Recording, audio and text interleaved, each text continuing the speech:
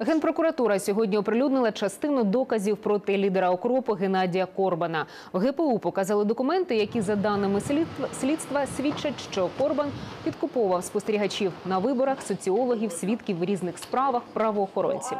Було передбачено й витрати на проект чутки. Тобто, за словами помічника генпрокурора Владислава Куценка, на підкуп людей, які в транспорті мали поширювати вигідну для замовника інформацію, впливаючи таким чином на громадську думку. Як повідомив Владислав Куценко, всі документи долучать до справи. разом по проектах 10 мільйонів 278 тисяч доларів. От вона патріотична діяльність. Проект слухи.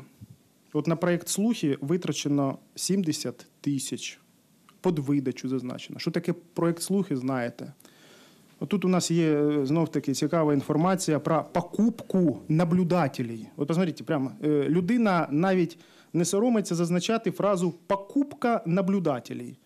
На це витрачається е, по заявці 164 тисячі 500, примічання 7 тисяч доларів. Срочно.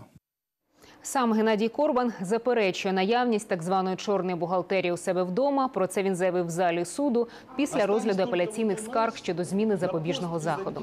Корбан відкидає всі звинувачення на свою адресу і пропонує звернутися до протоколів обшуків. Мовляв, все, що знайдено, задокументовано при свідках, і ні бухгалтерії, ні зброї там немає. Того, как просто смешно то, что не у одного. У меня дома, кроме детских вещей и книг, больше ничего нет. И быть не могу. Поэтому давайте смотреть протоколы обысков, давайте смотреть формальные документы, а не то, что они показывают на своих шоу.